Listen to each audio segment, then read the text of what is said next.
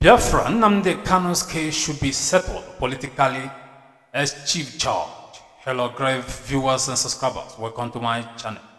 Now, according to the news of today, former chief judge of Anambra State, Peter Umeadi, has suggested the best option for resolving the case. Nnamdi Kanu, leader of indigenous people of Biafra IPOB. Umeadi said Kanu's case should best be resolved politically and not legally. Addressing his journalists, on Sunday in Abuja, the 2023 presidential candidate of All Progressive Congress Grand Alliance, APGA, said Kanu's release would end insecurity in the southeast. According to Med, well, the issue of insecurity in the southeast, first of all, it has been said before and I agree. For now, it is a serious matter. If it is solved, then that is good. The problem, if it is not solved, then you begin to look for another reason why it is still here. But for now, everybody is saying it, and I agree that the issue of Nnamdi Kanu should be treated as a political matter, not a legal matter. So, if he regain his freedom, perhaps that will be the end of what we are seeing in the southeast now perhaps. Now that I've come to the end of the news analysis, what are you seeing in Southeast? That should be the question. Some of you who call yourselves judges from Igbo extraction, some of you call yourselves politicians from Igbo extraction are mad. Nnamdi Kanu is not causing insecurity in Biafra land. He has told you that several times. These are a group of people who are criminally minded created by Nigerian government. You people should stop deceiving yourself. Nnamdi Kanu has been set free by court of law. What hell of political solution you're talking about? By now, he's supposed to be set free. You want to tie him down? Is this the what it's all about? Igbos think we are stupid. They should respect themselves and do the right thing. Their son is set free by court of law. I expected them to be asking Nigerian government to set him free immediately instead of saying all sort of jargon from pit of hell. This is why I dislike them so much. This is why I will never listen to all their rantings. Such cannot happen in Yoruba land when their son was set free by court of law and you have the audacity to stop him from being released. By now, they will be talking about something. This is why even other politicians and Yoruba politicians don't take you serious. To the extent, even your own brothers themselves Niger Delta, they no longer take you serious. That is why people like Wike can betray you. Why even the Fulanis refuse to betray, but Wike betray you. Why even the Europeans refuse to betray a man you brought out as president. But your own people betrayed you. Is this not a shame? Because they no longer take you serious. They see you as someone who has nothing to offer. They see you as someone who cannot stand by your right. That is just the truth. This is why sometimes when I look at hands, I laugh. They don't know their job.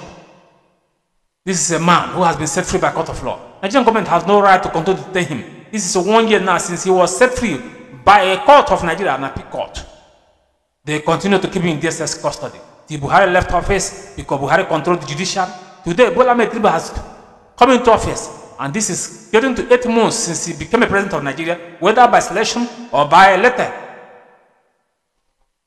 But Nnamdi Kanu is still in DSS custody. All they do every time is use British envoy to disturb him.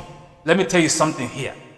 If some of you think that Biafra struggle can go down, you are wasting your time. Look, we, some of us are not like all these idiots who are somewhere in Europe making noise. This struggle is going to take another different shape soon. And Nnamdi Kanu must be set free. It's quite unfortunate that our Igbo leaders no longer know their left and right. All they believe so much is their pocket. And this is why nobody have any respect on them anymore. They see them as men who just need a small porridge of yam instead of to do the needful. If you don't know it now, Nnamdi Kanu is the only leader Igbos have. That is just the truth. Every other person is a carbon copy That is the fact. And this is why we will never, we will never allow anything wrong to happen to him. We have continued to say, after you claim we don't give you respect, we have allowed for so many years that he was set free by court of law.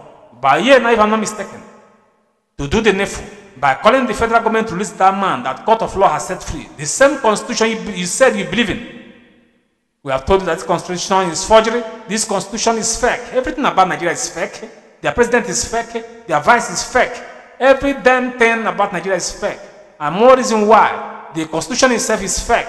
And this is why they see the presidents don't obey the constitution. That is why they don't give a hook about the constitution they claim that they made, the Nigerians made, and you should respect. If not, why do they continue to keep Nnamdi in custody? Why they continue to keep so many Biafrans in custody and so many Nigerians that the, that the so-called court of Nigeria has set free? This is what you'll be asking yourself. They don't even have pity for women. A woman, was this Kalisto Okonkwo, was kidnapped for so many years now. She and the husband, they have not set her free. Bring her to court problem. This will tell you the kind of zoo you are and the government you run as Nigerians. And upon that, you have refused to do the needful. You call yourself an Igbo man, Igbo that statesman, call yourself a Hanese, call yourself an Igbo politician. Fuck you. Time has come. We have to put the reality the way it is. I don't see anything political solution my foot so that you look for a way to frustrate him. He has been set free. He have to be set free. The Apiko did not say use political solution there. The, the Apiko said he is set free and he must be free indeed. This is what the court of law said. So what else are you doing? If not because you have something in your cupboard. This is why I dislike Bola Tinubu so much. A man who claimed all sort of things while he was dragging for presidency. All of a sudden he had become president by Ururu. Now, one former drug lord has refused to do the right thing. What do you expect? And we told you that they will never do the right thing because they are the same. That's what they are, if I'm not mistaken that uh, proverb.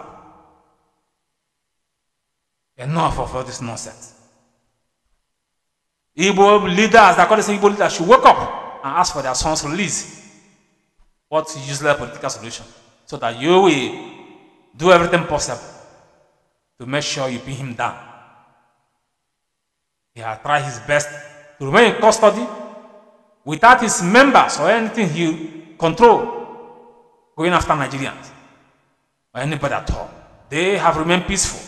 Anything happening in Biafra land is a creation of Muhammad Buhari, their former president, the predecessor of Bola Tinubu. That is the truth. He used some, some Igbos who are in desperate to cause havoc in our land. Today they are pretending to, to, to be doing the right thing, what I say. We all know who they are and where they're coming from and how they came into this trouble. We are not stupid, but time shall tell. They will be disgraced. I think I've come to the end of this news. The best thing is to set him free. What useless political solution? J. Biafra.